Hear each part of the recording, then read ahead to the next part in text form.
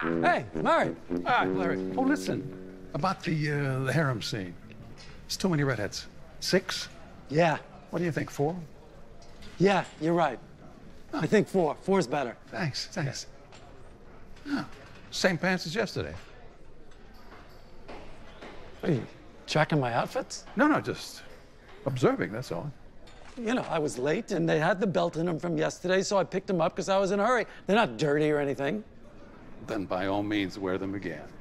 You're an outfit tracker, Murray. Nobody likes an outfit tracker. I don't know why a casual observation has made you so uncomfortable. I, I just feel like I'm living in some kind of clothing police state, like it's 1984. Big Murray's watching me.